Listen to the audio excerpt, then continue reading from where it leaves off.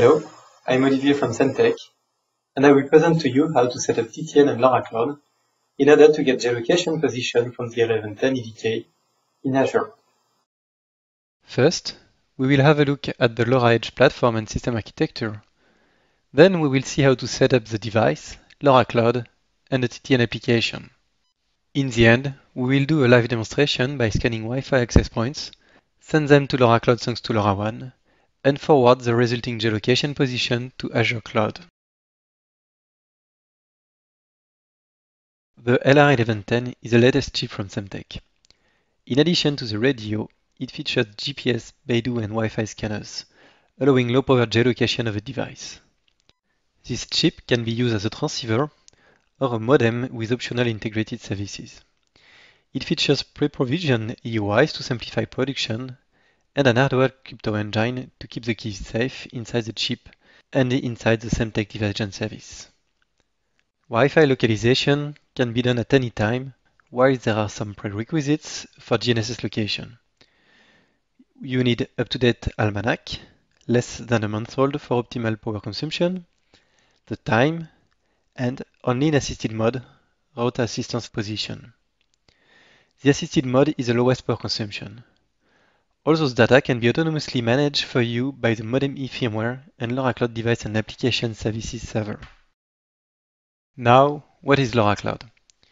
LoRa Cloud is composed of three services. LoRa Cloud Device Join, which is Semtech Join server working with the LR1110 embedded crypto element, and the keys and EUI pre-provisioned in each device during its production. The LoRa Cloud Geolocation Service it's a simple cloud API for GNSS, Wi-Fi, and RSSI TDO location. Its billing model is pay-as-you-go. Then there is the LoRa Cloud device and application services we will use today, featuring modem services like file upload, streaming or remote device management, time synchronization, remote almanac update, GNSS and Wi-Fi geolocation solvers for modem E. Its billing model is per device per month.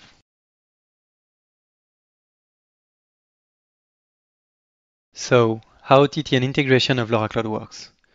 The device is communicating with TTN thanks to LoRaWAN protocol, and Semtech Device Join is a join server securely delivering the session keys.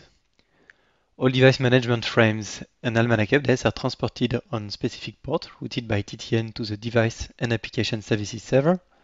Then, if required, TTN forward device and application services downlinks to the device, but also to the application server for application data like reconstructed files or position coordinates. The application server will be Azure in this demonstration.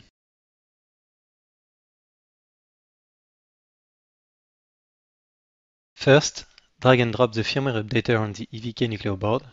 The software will flash the modem E firmware on the LR1110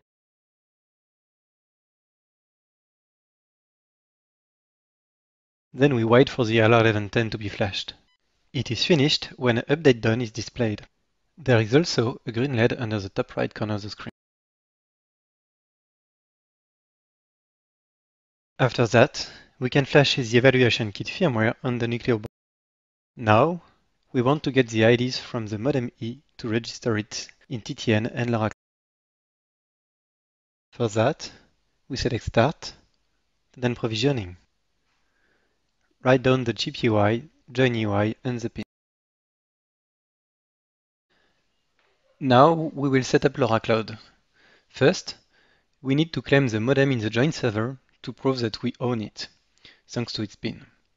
For that, click on LoRa Cloud Device Join, Application Owner, give it a name, create the owner, then assign the free allowance, which is a trial. Okay. And now I can go to the devices page, claim individual device, fill chip EUI and the pin. Device EUI and join EUI are still default values. There is no need to enter them. Claim device. Then we need to authorize TTN to provide join requests to the join server. For that, we go to Application Owner Bindings, accept join request only from the list, and select the C networks, associate, and save.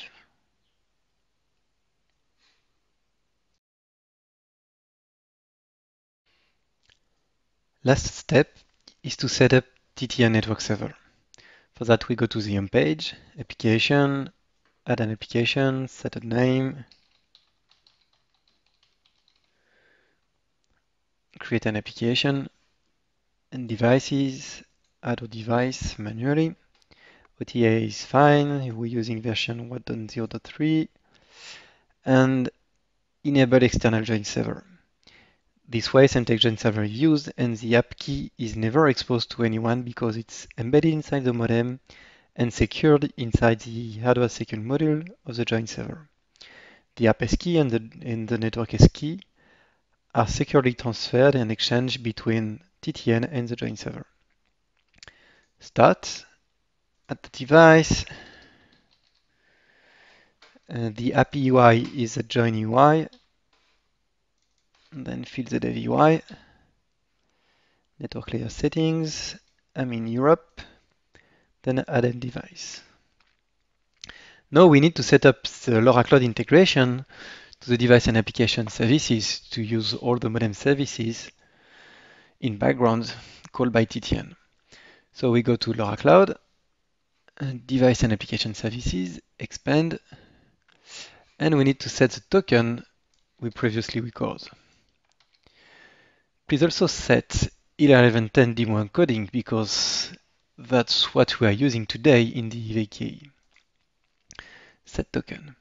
So now every time that there is an uplink from the modem, it will be redirected by TTN to the cloud who will process it and do the geolocation stuff or any services like um, application layer clock synchronization, file upload, or streaming.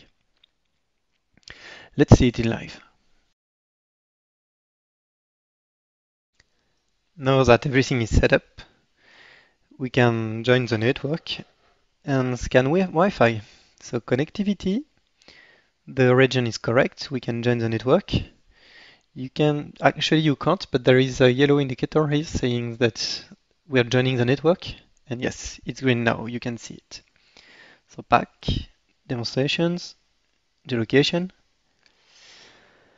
you can notice that the GNSS button for the demonstration are gray. It's because it needs a few seconds to synchronize time.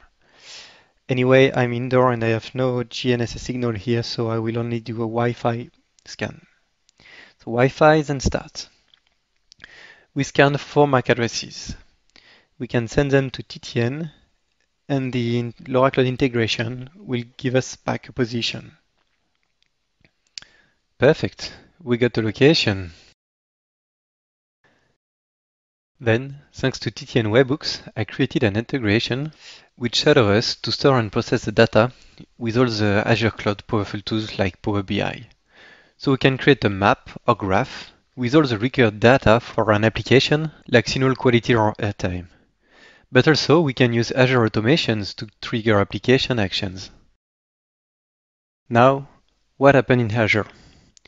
This will not be a step-by-step -step video as I do not show how to set up the database, but there is a lot of resources on the internet, but another view to show you how easy it is to send LoRaWAN data to Azure ecosystem. For the live demo, I added a TTN webhook forwarding data to Azure. I use a function app. It is a small piece of code. It can be Python in this uh, example. Um, just connect it to my database over there then getting data, if it's a location data, it will add it to the JLoc um, database table. And if it's an uplink, I grab metadata and put there in another table. This is when you lack code. But there is another even easier way to do it with thanks to Azure Logic App Designer, Logic Apps, sorry. So what you want to do is to create an HTTP access that um, TTN can use to push the data. So you click on request. When an HTTP request is received, here you use the use sample payload to generate schema button. So if you passed uh, an uplink from TTN like there, it will be able to recognize and pass every field for later use. Perfect. Now we add a new step. What we want to do is to push data to an SQL server and add a new row inside a table. So we select our Azure SQL database. We want the geolog table, perfect. Then the system automatically connects to your database and propose you to fill the different columns. So latitude, it's the latitude field from TTN, perfect. Longitude, it's the longitude field from TTN. And date, it's known, it's uh, a name received at in TTN. With that, I did everything I need to get the data from TTN and put them inside SQL database inside Azure. So I click on Save. Here, I will get a new URL I can put inside TTN in webhooks. I create a new webhooks, a custom one. Let's call it Azure Geolocation. The, the format is JSON. The base URL is the one I just received. Then I push location solved messages at webhooks. This way, every time uh, TTN is able to get a location from LoRa Cloud, it will push it to a new logic app function. Let's try it. Uh, we can go inside the database, run. Okay, the last ID is 197, the last data I received. Let's go to live data. Uh, I, I will send a new geolog request. We have latitude, here. If we go to the database, then update the request, we have a new a new position thanks to just 30 seconds of point and click. We have reached the end of the presentation. I hope that it helped you to understand how easy it is to get geolocation position in Azure Cloud without any line of code, thanks to TTN integration of LoRa Edge and LoRa Cloud products. Please feel free to ask any question in the chat or in the LoRa Developer Portal forum.